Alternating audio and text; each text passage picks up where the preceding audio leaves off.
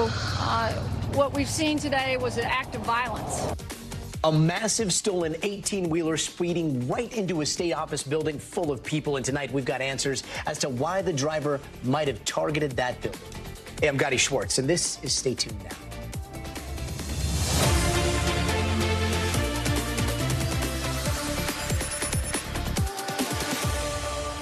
Texas tonight, a fully loaded 18 wheeler used as a weapon in a deadly attack on a Department of Public Safety office by a man police say had just been turned down for a commercial's driver's license in that same office yesterday. Now, this is the aftermath of that attack that's turned tragic. Police say at least one person has been killed and several others were hurt after that truck came crashing through the front of the Department of Public Safety office. It happened in the town of Brenham, Texas, about 75 miles west of Houston. A video of the scene shows the extent of the damage, that gaping hole in the entrance there. Police identified the suspect as a 42 year old man who had just visited the DPS office yesterday and was denied a commercial driver's license. That's the license you need in order to legally drive large trucks like 18 wheelers or buses. Now, dispatch calls paint the picture of the moment that stolen truck went crashing into the building. Crashing into DPS, bro. Received crashing into DPS. DPS. Roll everything to DPS. Stolen vehicle that crashed into the DPS office, an 18 wheeler versus the DPS office. There is entrapment in the building. 407 is a building secure so I can start getting people out through these windows. Some terrifying moments there. NBC News correspondent Priscilla Thompson is joining us now from Brenham, Texas. Priscilla, a lot of victims in this attack. Do we know how the survivors are doing right now? Yeah, there were more than a dozen people who were injured, a number of them treated on the scene, but six people were rushed to the hospital, and one of those people has died. There are two others that are in critical condition tonight fighting for their lives. And what's more, the mayor says that this could have potentially been much worse. Take a listen to what he said earlier. The uh, suspect was backing the vehicle up and with the intent of going into it again. Our fire chief mentioned that if he had veered a little bit to the left the second time, there would have been a collapse of that building. And with more than a dozen people injured just based off of what happened here today, you can imagine how devastating it would have been if he had been able to take make a second attempt at this building and potentially allowing the whole thing to collapse. Gadi? Uh, Priscilla, how do they stop him? I mean, you see the truck right there. You see the hole that they, he, the damage he already called, uh, caused. But uh, how did all of that come to an end? Yeah, so uh, the thing here, the interesting thing here is that this truck belonged to somebody else. They had left it running according to the dispatch audio whenever this suspect, uh, Leonard Clinard Parker, got into the truck and took off. And that's when that original driver called police, reported the truck stolen. And so there were already officers behind the truck whenever he turned into uh, this parking lot and crashed it into uh, the building. And so officers were able to act very quickly to apprehend him after that happened. And of course, eh, we are learning from police that he had come in just yesterday to get that commercial's driver's license, and that renewal was denied. Police saying that this was an intentional act tied to that. And of course, now the suspect is in custody facing multiple felony charges. Gadi? Priscilla Thompson, thanks so much uh, for that report. I mean, it, thank, thankfully the police were there and were able to stop that truck from going back in. Meanwhile, in Memphis, one police officer was killed and another two were hurt after an early morning shootout with two teenage suspects. And one of the teenagers was also killed. All of this after officers reportedly responded to a call about a suspicious car at 2 a.m. Here's what the mayor said earlier today.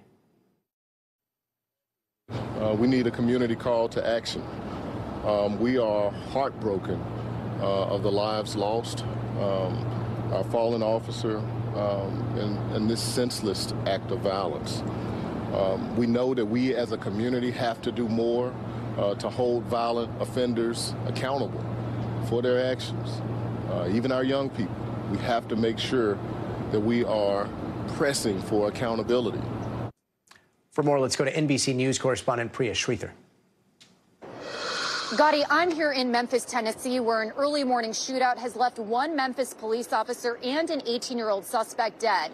Police say they responded to a call about a suspicious vehicle shortly after 2 o'clock this morning. When police arrived at that vehicle, they say the two people inside of that car opened fire. They say that's when police officers fired back and the two suspects attempted to escape from the police officers in the car. Those officers were able to catch up with the suspects, but in the barrage of bullets, three police officers were shot and the two suspects who were aged 17 and 18 years old. Those two suspects, along with two of the shot police officers, were rushed to the hospital where tragically Joseph McKinney, who had joined the Memphis Police Department back in 2020, was pronounced dead along with the 18 year old driver of that vehicle. Now, Memphis police said that they had actually encountered that 18 year old suspect just a few weeks ago when he was arrested in the possession of a stolen vehicle and a semi automatic weapon that had been illegally modified. Today, the district attorney of Shel- Shelby County released a statement shortly after the shootout saying that this individual had already been identified as a high priority offender and that his bond should have never been lowered so that he was back out on the streets of Memphis.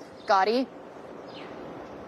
Priya, thank you. And a family of a 15 year old boy who was shot by police in Akron, Ohio, is demanding a full investigation and accountability into these moments captured on a police body cam and a warning. Some might find these images disturbing. The video, parts of which police have blurred, shows how the officer pulled alongside Tavion Kuntz Williams, opened the car door, and asked to see his hands after responding to a call about someone pointing a gun at houses. That's when the officer fired a single shot, hitting Tavion in the hand and wrist. Police say he had, quote, a facsimile firearm, which basically means a gun replica. His family and their lawyers say, yes, Tavion was carrying a toy gun at the time and tried telling the officer it was fake. Ryan Westlake is the officer who shot Tavion. He's been put on paid administrative leave. And NBC News correspondent Shaquille Brewster joins us now with more. Shaq, a lot of what we know is because of that video and what the officer right. is heard saying in that video and what Tavion is heard saying in that video right before and right after the shots were fired, right? What's the family yeah. now saying that video shows? Well, the family is essentially saying that there was nothing more that Tavion could have done, that he made clear to the officer that it was a fake gun, and that the instance and incident happened so quickly that there was not anything different that could have taken place. I want to play a little bit more of that body camera video and listen to exactly what you hear Tavion and the officer say. Can I see your hands real quick? Shots fired. Shots fired. It's fake. It's fake. It's fake. It's fake. It's fake. Shots fired. It's drop fake. to the ground. Drop to the ground. Drop to the ground. It's fake. Drop to the ground. Drop to the ground. It's fake. It's fake. I promise. Hands behind your back. Now, the family said in the press conference while Tavion will have a full recovery, we did see some bandaging on his right arm, and they say that he's still struggling to sleep and that he's going to be dealing with trauma and that it's taken over his entire life. I want you to listen to a little bit more of what we heard directly from his family. It is not okay. And we are sick and tired of watching our babies die in the hands of people who swore an oath to protect and serve. It has to stop. Because then it won't just be my child, it'll be yours next. The belief of the family is that this is more than any one incident, but it's a culture in policing, and that's what they want to address. Jack, the video has now been out for, for a little bit of time. What are cops saying the video shows? Well, the city and the police department, they're not specifically addressing it other than the mayor saying that this is a tragedy uh, and that they will continue to do an investigation. But you have the Fraternal Order of Police, uh, essentially the police union, saying that what they did and what they saw uh, in their officer was justified. In a statement that just came out after the press conference just about an hour or so ago, they say that we continue to support our brother. And they go on to say the officer's personnel file has nothing to do with this incident However, that's what's being talked about. And what they're referencing there is when you look back at the personnel file that the city released as they released this body camera video, they showed that the officer has had other use of force incidents, including one that was deemed unreasonable. In addition to that, he's been suspended before, he's been fired uh, before, and then was reinstated after apparently a deal between the police union and the city. That is something that you heard the family bring up, but you hear the police union saying that uh, this officer acted in accordance with policy and that his actions were justified, Gadi. And Shaq, this shooting adds to a pretty controversial list of police shootings in Ohio. The 2014 killing yeah. of Tamir Rice in Cleveland, the 2022 killing of uh, or shooting of Jayland Walker, also in Akron. There, what is the response right now from the community?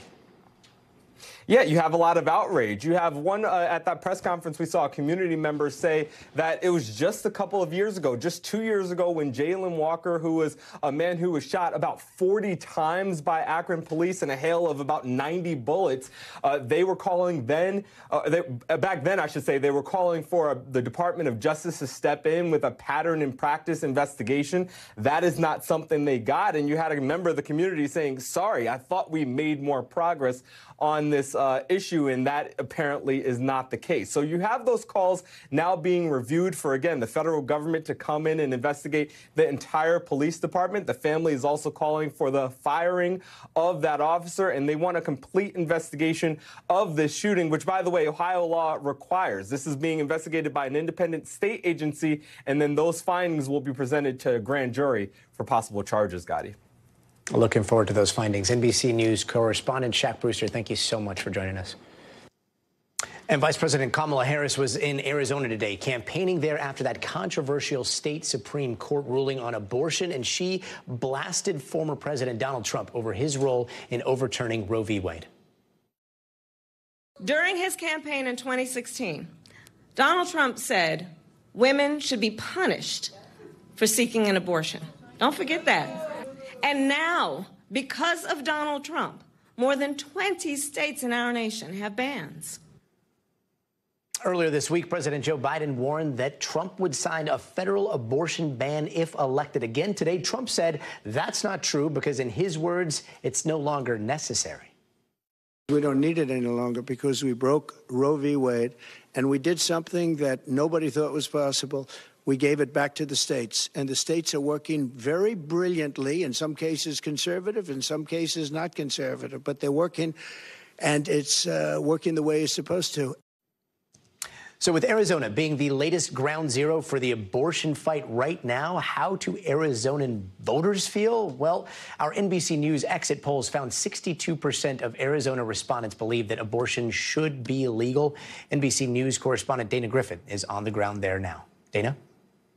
Gadi, just as fired up as Vice President Kamala Harris was on that stage, so are the people here in Arizona who say this has gone way too far. As the vice president said, this is one of the most restrictive states when it comes to abortions. No exceptions for rape or incest, only in the case that it saves the mother's life. And you have people here who are taking this fight now to November because there is a ballot initiative that is expected to go on the November ballot that could allow people to codify reproductive rights here in Arizona on the state constitution. And I got to tell you, Gadi, I've spoken to women who are angered, who are saddened, who say they want the politicians to stay out of their health care and their decisions for their own bodies. But even the doctors I've spoken to, they say that this has been very tough because People have been calling their offices wanting to know what does this mean. I spoke to one doctor last night. He has a private practice. He's been doing this for nearly 30 years, and he was in tears because he said it's the women who are ultimately paying the price. Listen. We have the most vulnerable patients, and they're the ones who are going to pay the price. Um, the women who have five kids or four kids and are keeping a job or in abusive relationships. And I can go on and on and on because I see all of these people. I've seen them for 27 years. I serve the indigent population of Arizona. 75% of my patients are indigent or underprivileged or, or on state funding. That doctor is also fired up. He says that he hopes that they get this ballot initiative passed.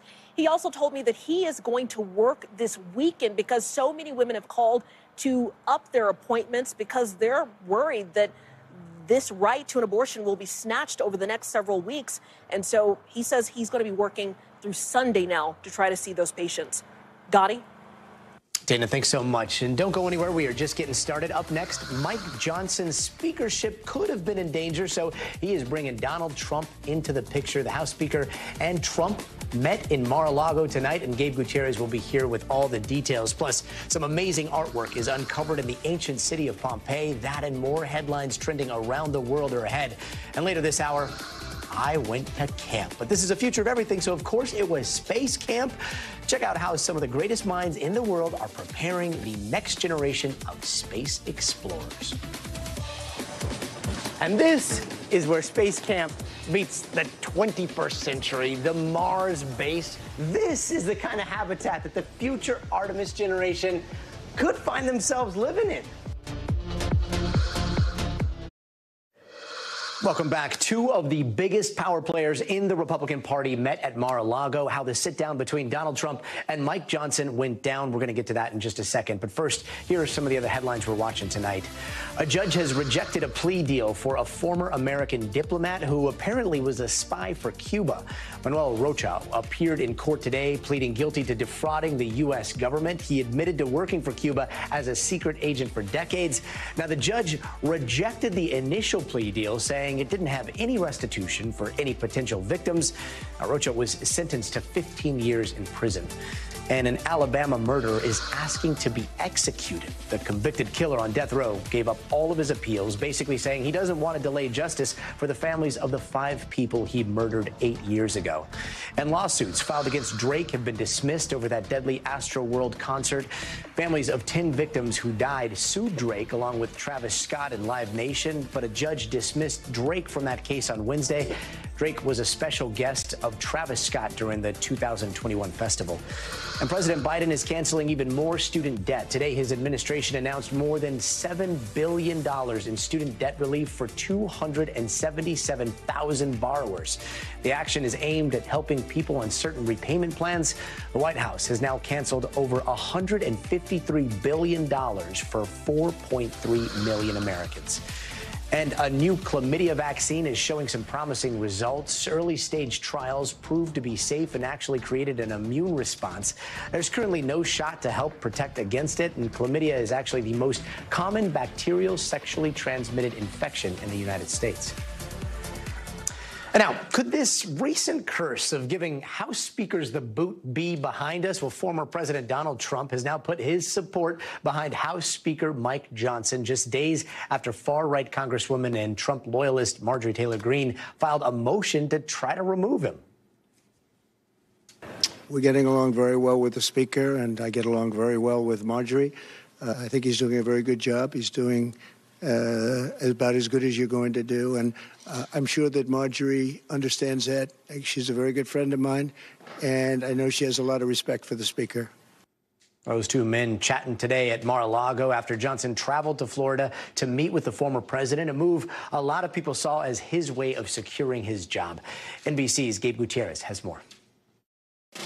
Yeah, Gadi, House Speaker Mike Johnson came here to Mar-a-Lago after a very busy morning where House members voted to reauthorize uh, FISA, the uh, controversial uh, security bill that included that provision uh, that allowed officials to spy on foreign nationals. Uh, former President Trump has come up before and said he's not a fan of that, and that appeared to be a rift between him and House Speaker Mike Johnson. Of course, Congresswoman Marjorie Taylor Greene was threatening to oust Speaker Johnson over that and also his support for aid to Ukraine. But the House Speaker came here to Mar-a-Lago uh, seeking a political lifeline of sorts, and that's exactly what former President Trump gave him. He said he was doing a, a very good job and stood side by side uh, and said that uh, he and House Speaker Mike Johnson should move forward, basically trying to show unity uh, in the Republican Party. Now, the former president also made some news, Gadi, when I asked him um, whether he planned to testify in the upcoming trial. Jury selection is set to begin next week in New York. This is the trial where he's accused of falsifying business records rela- uh, related to alleged hush money payments to Stormy Daniels. I asked the former president whether he planned to testify. Here was his response. Yeah, I would testify, absolutely. It's a scam. It's a scam. That's not a trial. That's not a trial. That's a scam. I'm testifying. I tell the truth. I mean, all I can do is tell the truth. And the truth is that there's no case. They have no case. And late today, Gadi, the judge in the New York hush money case, actually denied a motion from former President Trump to delay the proceedings due to pretrial publicity. Jury selection is now set to begin on Monday. Gadi? Gabe Gutierrez, thanks so much. And we're going to hear about that trial in just a bit. But some breaking news tonight to tell you about. A judge has ruled that he will not toss out Hunter Biden's federal gun case. Now, Biden was indicted last fall in federal court in Delaware on three counts connected to possession of a gun while using narcotics. A lawyer for Biden has not responded to a request for comment. Meanwhile, back to that trial that President Trump is saying he will not be testifying in in New York. That's that hush money case, and that trial is set to begin on Monday, and it'll be the first time a former president will stand trial in a criminal case. NBC's Yasmin Vossoughian has a refresher on all you need to know about that case. The Trump hush money case is the first of four criminal cases to move to trial. Former President Donald Trump was charged with 34 counts of falsifying records in the first degree. But Trump is not the only one involved. Michael Cohen will likely be the star witness in the hush money case. He was Donald Trump's lawyer and fixer. And on August 21, 2018, he pled guilty to eight counts in Manhattan federal court. And Cohen alleged in a court of law Donald Trump directed him to make illegal payments to influence the 2016 election, which Trump denies. I did it at the direction of and for the benefit of Donald J. Trump. Cohen was sentenced to three years in prison.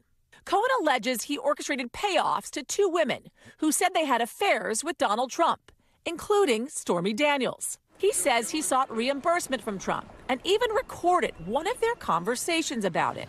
The FBI seized that tape during a raid on Cohen's residence and office. Cohen's attorney released it to the media. Adult film actress Stormy Daniels, also known as Stephanie Clifford, says she met Donald Trump in 2006 at a celebrity golf tournament when he was the host of The Apprentice. Who loves The Apprentice? Stormy says they had sex that night, and he offered to cast her in The Apprentice, which Trump denies. In 2011, the story leaked. Stormy says she gave an interview to a tabloid magazine for $15,000. It remained unpublished until 2018. But two years earlier, when Donald Trump was running for president, a tape from Access Hollywood We're ready. Let's go. leaked, which prosecutors say caused panic within the Trump campaign. Two weeks later, Stormy Daniels was paid $130,000 by Trump's attorney, Michael Cohen. Karen McDougal is an ex Playboy model and says she had an affair with Donald Trump. They allegedly met in 2006 at the Playboy Mansion, and she says they dated for nearly a year. Donald Trump denies they had a relationship. In 2016, when Donald Trump received the Republican nomination, McDougal's story leaked. AMI, the owner of the National Enquirer, offered her $150,000. They wanted to squash the story. Michael Cohen says he orchestrated the deal for AMI to buy McDougal's story, but never publish it to help Trump in the 2016 election. Allegations Trump denies. Allen Weisselberg was the Trump organization's chief financial officer. He was mentioned several times in Michael Cohen's recording as being a part of the hush money plot. And I've spoken to Allen Weisselberg about how to set the whole thing up. In July of 2021, Allen Weisselberg and the Trump Corporation were indicted for scheming to defraud tax authorities at the federal, state, and local level. He was sentenced to five months in prison and agreed to plead guilty and be a witness against the Trump organization.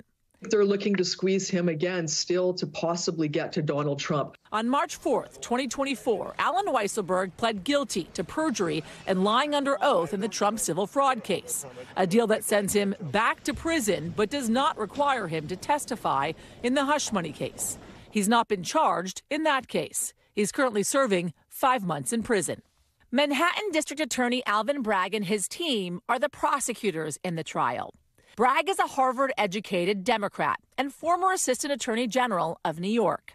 On December 6, 2022, DA Bragg secured the conviction of the Trump Corporation and the Payroll Corporation for conspiracy, criminal tax fraud, and falsifying business records. The focus in the last 24 hours has been almost exclusively on Trump. Then on March 30th, 2023, Donald Trump was indicted by DA Alvin Bragg in a Manhattan court.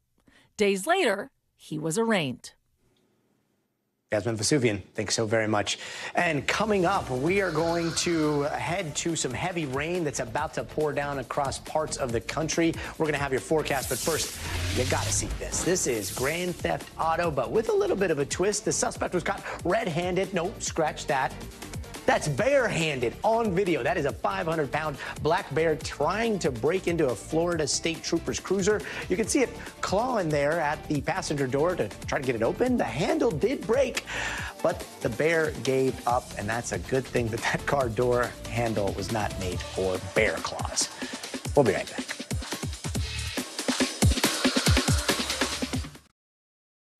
Hey, welcome back. And here are some of the stories happening out west that we're following right now. Shohei Ohtani's former interpreter, Ippei Mizuhara, made his first court appearance today. He was released on bond and ordered not to contact the Dodgers superstar. Mizuhara also surrendered his passport and will have to get treatment for gambling addiction. He's being accused of stealing more than 16 million from Ohtani to cover gambling debts. And over to Colorado, where an abortion rights measure is expected to appear on the ballot in November. This comes after a reproductive Freedom Group collected almost enough signatures to qualify. They still need to collect a few more from registered voters in a couple of districts. And if the measure passes later this year, the proposed amendment would protect access to abortion in that state. And check out this video of a flaming school bus that crashed into a house. This happened earlier this week in Normandy, Missouri. The bus driver apparently got trapped inside but managed to jump off just in time. Luckily, no one else was on board, and the family inside the house ran out of a side door moments before that bus hit. One person was treated at the scene and taken to the hospital. And heavy rain and flooding continues to impact millions from coast to coast. At least one city in Pennsylvania is under a state of emergency tonight due to yesterday's heavy rain and flash flooding. Pittsburgh saw nearly three inches of rain yesterday alone. And here on the West Coast, California is bracing for a wet weekend from a storm that is going to bring even more rain across the country next week. NBC News meteorologist Bill Karins joins us now with the forecast. Hey there, Bill. Well, good Friday to you, Gadi, and we are seeing two big storms. We have one that's been plaguing us all week long, and then we have a new one that's about to come on to the west coast as we go throughout the evening. So the first storm, this is the one that caused the severe weather this week. We had flash flood emergencies in Tallahassee, New Orleans, uh, overnight just outside of Pittsburgh, and this storm is still cranking here. And around it, you can just see all the green and yellows. What a nasty day in Ohio, especially around the Cleveland area to Pittsburgh. Detroit's been kind of ugly, cold cold, rainy, and we've had showers and thunderstorms rolling through the northeast. And this is going to continue overnight tonight and then a little bit into your Saturday. So we paused this at noon Saturday, and it's cold enough in the Adirondacks and the Catskills and central New York that you will see snowflakes out of this. And the, as the storm exits out, it'll be some gusty winds with it too. So by the time we get to Saturday evening, a little bit in the areas of the Green Mountains of Vermont, we'll see a little bit of snow. Northern Adirondacks, not a lot will accumulate, but just the fact you're still seeing snow, uh, disheartening for some. And then a blast of rain and thunderstorms rolls through late Sunday afternoon and evening. So heads up everyone here in central New York, Pennsylvania, New York City, Hartford, up towards Boston. Not going to be severe, but it's going to be a pretty nice uh, Sunday. And then all of a sudden these storms will come through late in the day. So here's how your weekend forecast is going to play out. Middle of the country is great. Where we had all that rain and the severe weather earlier this week, you are looking fantastic. 80s and 90s widespread through the middle of the country. Nice in the southeast. Great for the Masters after a windy day today. Then on Sunday, we mentioned those storms. And I haven't mentioned much about the west because we're going to talk about that now. This is the new storm system that's moving in. A little late in the rain season for a storm like this. We are going to see snow in the highest of elevations. Nothing crazy. This isn't like a huge, powerful storm. Just the timing of it on the weekend's not great. Showers around San Francisco. We will see some rain moving into LA. It looks like late as we go throughout your afternoon on Saturday. Then even on Sunday, it kind of lingers with some showers on and off. Not going to rain all day long, but we will see the mountain passes cold enough that we will have some problems with some snow. So as far as the issues will go, rainfall, it does not look like we're going to see significant flooding, maybe some isolated in some of the mountainous areas. The mountains north of here, Santa Barbara, locally up to three inches. Same just south of Monterey. We will see about one inch where it rains, not the snow, obviously, in areas of the central portions of California and the Sierra. And then when this storm heads into the middle of the country, this is the real headline with this storm. Yes, it ruined some people's weekend uh, in California, but by the time we get to Monday, this storm is going to pose a severe weather risk. We could actually see a severe weather outbreak. We're very concerned here. Wichita Falls, Oklahoma City to Wichita, and then the storm system will head through the Midwest as we go through Tuesday. So, God, we'll talk more about that next week. Looking forward to it. Bill Karins, thanks so much. Now, you'd think that police officers and violent gangs would be sworn enemies, but what if in some cases the cops are gang members themselves? In Los Angeles County, those are some of the allegations the sheriff's department continues to face, and NBC's Priya Sridhar has more. There's a different kind of gang problem in Los Angeles County. The people meant to serve and protect a population of more than 9 million people, allegedly part of powerful gangs going back decades, according to watchdog groups and the alleged victims of their crimes. Groups of LA sheriff deputies with threatening names like the Banditos, the Cavemen, the Executioners. The deputies rep their cliques, tattooing their bodies with logos and throwing up gang signs. The gang's facing allegations they use violent excessive force against Angelenos. To me, they're punks. The people that killed my sons, that executed my sons. And intimidate fellow deputies who don't play along. leave dead rats in front of people's homes. The terrorizing behavior costing the LA County taxpayers a fortune. The Inspector General's office counts $54 million in settlements involving deputy gang activity. The first obstacle to eradicating them, though, many past sheriffs dispute their very existence. Well, you're still trying to pretend the deputy gang exists and work in the countryside, pillaging, plundering. The investigation continues. But the current sheriff, Robert Luna, who took office in late 2022, went public with his efforts to combat the problem. We must eliminate deputy gangs. A city and state approved civilian oversight commission released a 70 page report last year on how the sheriff's office should crack down on them. The commission's special counsel telling us they turned over a list of more than 20 recommendations. But so far, members of that oversight board, as well as attorneys for the victims, say Sheriff Luna hasn't put a stop to the gangs like he promised. It's a lot bigger than one sheriff. It's sheriff after sheriff, administration after administration. In a statement to NBC News, the LA Sheriff's Office say they've drafted a new law enforcement gang, clique, and subgroups policy, but that it's still under negotiation with the powerful deputies union. We don't get it! Turn it down! We were trying to publicize the existence of the deputy gangs and put, put the community in power over the gangs and over the sheriff department itself. In the meantime, a growing chorus in LA who say it's time to stop waiting for the county or the sheriff to clean things up. If this uh, gang problem isn't promptly solved, that the next logical step will be federal litigation, the appointment of a monitor, and oversight by a federal judge. Other police departments who struggled with different issues like excessive force and police bias in cities like Detroit, Seattle, and Pittsburgh all saw what officials say were significant improvements under federal oversight. But the Department of Justice so far hasn't moved in that direction. NBC News reached out to the DOJ for comment but haven't heard back. If these alleged gangs are dealt with, it won't be soon enough for people like Sergeant Rosa Gonzalez, who claims she was retaliated against for speaking out against the East LA Banditos. Gonzalez declined an on camera interview with NBC News, saying doing so would mean facing further consequences, proving the stronghold these supposed gangs still have over one of the largest populations in the country. Priya Sridhar, NBC News. Priya, thanks so much. Still to come, after nearly 2,000 years, Roman paintings were just discovered in Pompeii. It is one of the most dramatic findings under all that volcanic ash in years. Those details and other stories trending around the world are coming up next, so stay tuned. Hey there, welcome back. Time for a quick look at headlines trending around the world. In Ukraine, troops are struggling as Russia steps up its attacks, all while Ukrainians are seeing more delays when it comes to aid. A $61 billion aid package is still stuck in the House after its Senate approval in February. Without the help, Ukraine's defense is both outgunned and outmanned, and soldiers are trying to keep their ground against Russia, but supplies are quickly running out, and leaders are worried that if the U.S. doesn't pitch in soon, Ukraine could lose the war. And lawmakers in Germany just approved a law making it easier for people to legally change their name and their gender on official documents.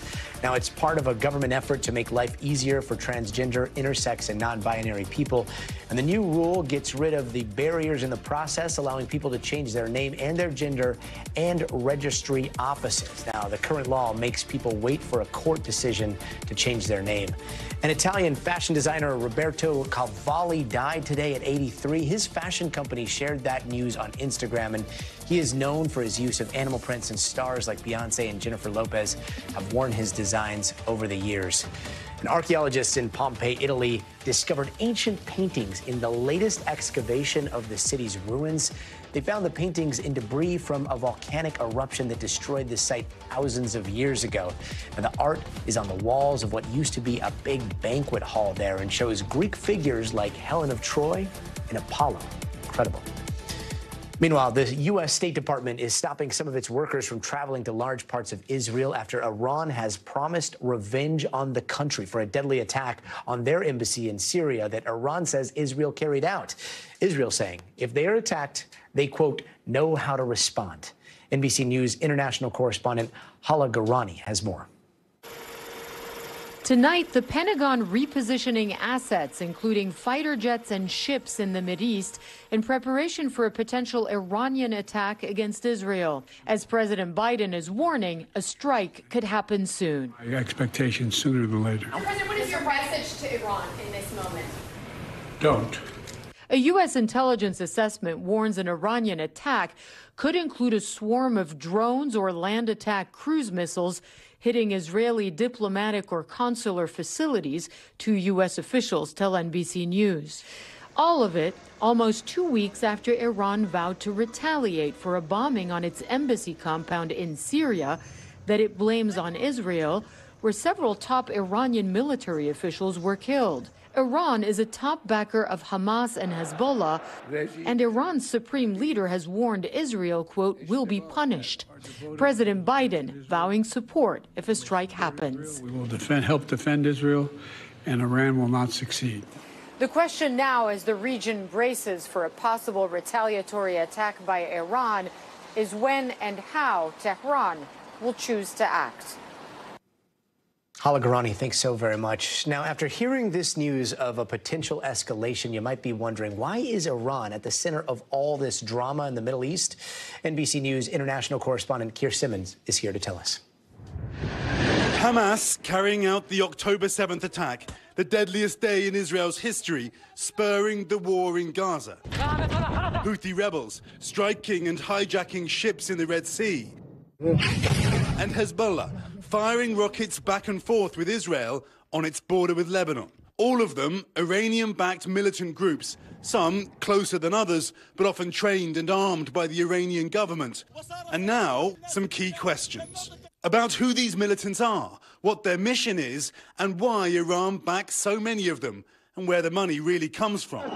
It all goes back to the 1979 Iranian Revolution.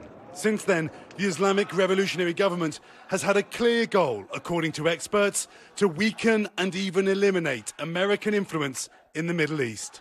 Iran has two main goals by supporting these militant groups and, in some cases, creating these proxies across the region. The first one is that part of their foreign policy is to pursue instability and spread instability across the Middle East.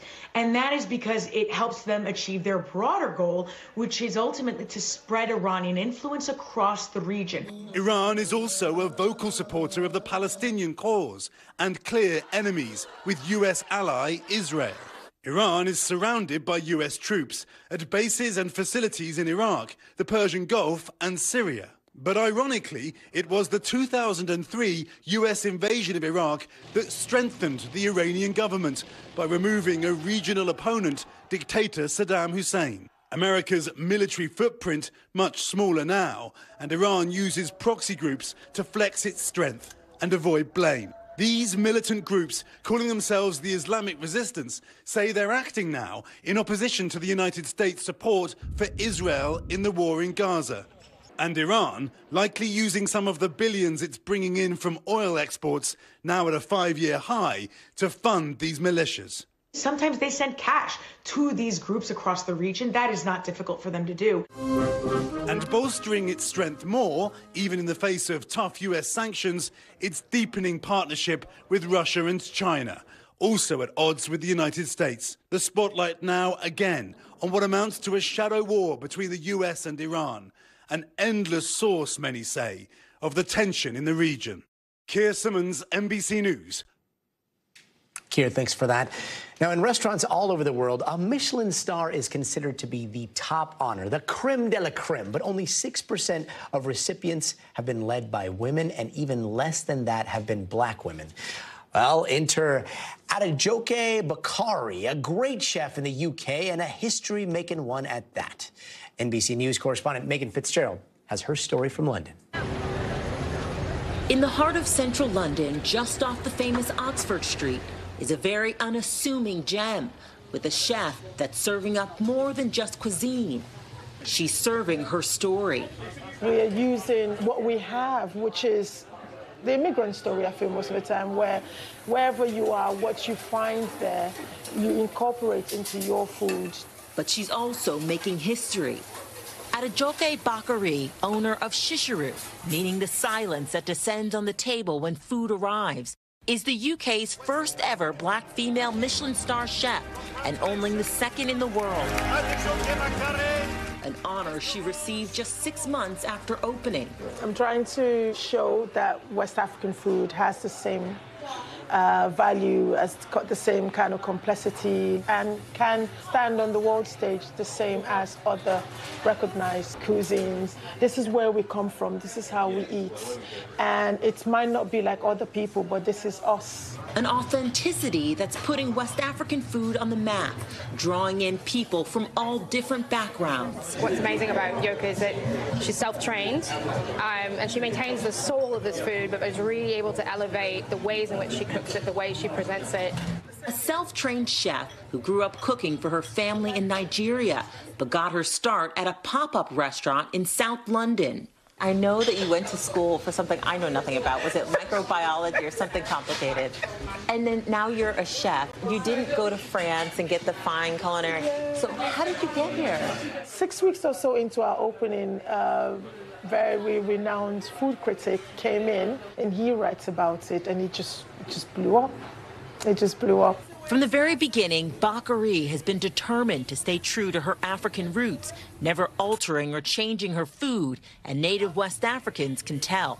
There are a lot of hidden gems um, in our culture, so it's great to see her being received in that way and flying the flag of West Africa. We put a very high bar about anybody cooking our food. Yes. And yes, and we're not shy about expressing our opinion. Exactly. a pride and a message to the world that being exactly who you are is enough. The young people cooking the same kind of way I'm cooking can say there is value to our food. They can see it and can show pride in it as well. That's what Michelin has done for our food here at Chishuru. Meagan Fitzgerald, NBC News, London. What a delicious assignment, Meagan. Thanks so much for that. Before we go, we are taking you to space camp. Aside from me actually getting into a real rocket, this is pretty much the next best thing. We're going to show you all that after the break. So stay tuned. All right, we're in Huntsville, Alabama, and oh yeah, we got the sunroof open because that is a Saturn V rocket. It's one of the first things that you see. Space camp, here we come.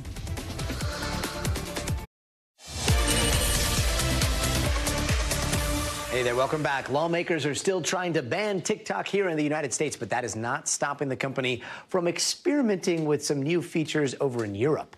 CNBC senior media and tech correspondent Julia Boorstin explains. TikTok is far bigger than it was when it last faced a potential ban, but now, after Senator Mitch McConnell called for action towards banning the app, it's facing a newer challenge of keeping up its growth. Thursday, TikTok had a big win. Taylor Swift songs returned to the platform after a 10 week hiatus, this ahead of the release of her coming studio album. But TikTok and Universal Music Group, the world's largest music label, continue to be in a standoff. The label pulled its songs from the platform and accused TikTok of trying to bully it into accepting a deal worth less than its prior contract. It also comes as TikTok rolls out a new app called TikTok Lite in Europe. It gives users rewards which they can redeem for gift cards and tips to give creators for engaging on the platform or inviting friends to sign up. This in an effort to engage new users. It's also in the early stages of experimentation with a new app called Notes that's for sharing photos and captions or notes about them, which is similar to Instagram, though the company says there are no plans yet to make this app broadly available. This experimentation with formats similar to Instagram or even YouTube comes as time on TikTok flatlined in the past year compared to Instagram's 10% growth and engagement. This is quite a change from the days when those platforms, including Instagram, copied TikTok's short form video format. Julia Boorstin, CNBC Business News, Los Angeles. Julia, thank you. Now, when it comes to the future of space, the next wave of missions will depend on a whole new generation of explorers. And these young minds are fueled by curiosity and the burning desire to get back to the moon, to get to Mars, and beyond even that. But what does it take to become an astronaut? Well, there's only one way to find out. Tonight, we are going inside Space Camp, where cadets of all ages are put to the test with simulations, experiments, and even a little taste of Martian living. We have man in each start. Four, three, two, one, zero. Booster ignition. Ooh, it's well out, isn't it? And liftoff. Special discovery. At Space Camp, it's never too late for liftoff. All right, all my childhood dreams are coming true right now. But first, buckle up because my crash course in becoming an astronaut starts with a spin. And it's called the multi-axis trainer. Yes. Because I'm going to be spinning on all the axes. All the axes. There we go. Oh yeah. All right, Johnny, how you feeling? I feel great. it's like the most complicated rocking chair I've ever been in. Scuba diving for space is completely different than ocean scuba diving. This is more like a lunar walk. Correct. Where we're just jumping around with our feet vertical than it is like scuba diving on Earth. I see a basketball hoop down there. Yeah, you're gonna shoot some hoops. Am I gonna school these kids right here? What do you think?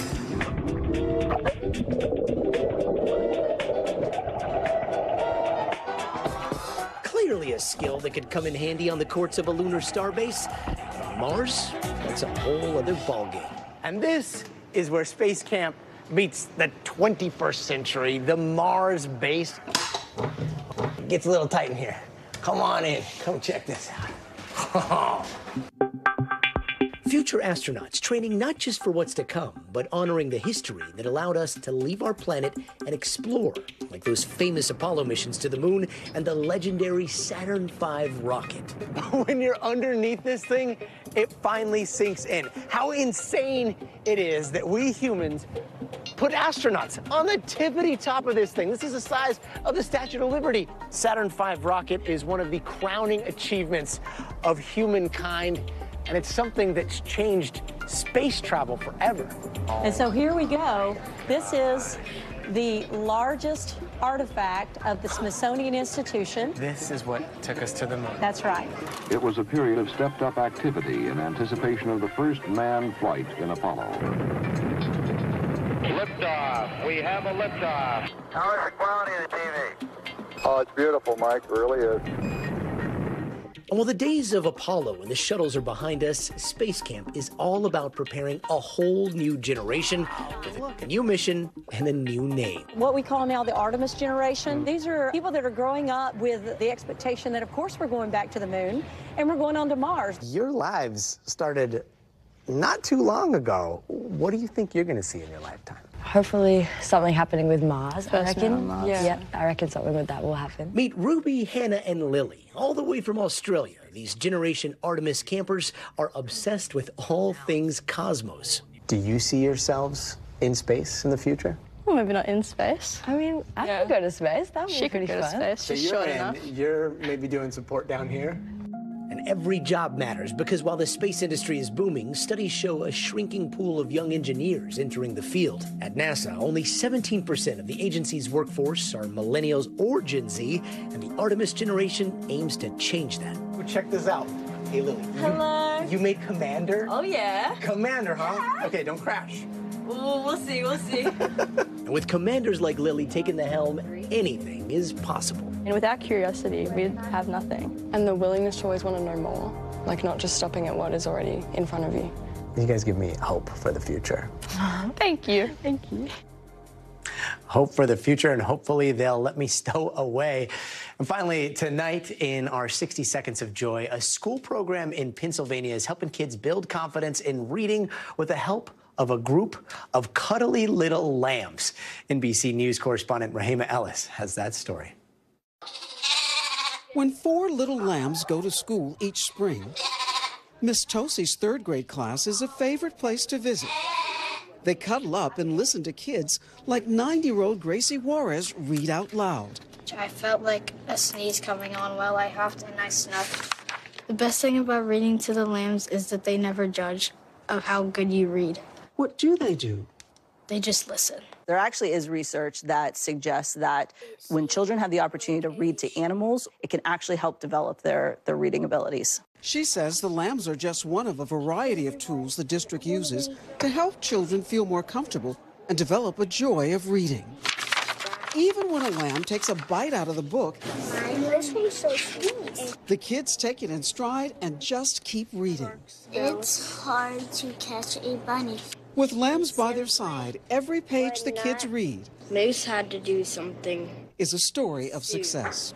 Rehema Ellis, NBC News, Cole Center, Pennsylvania. it's So cute. That does it for us tonight. I'm Gadi Schwartz. We'll see you here Monday, but until then, stay tuned now.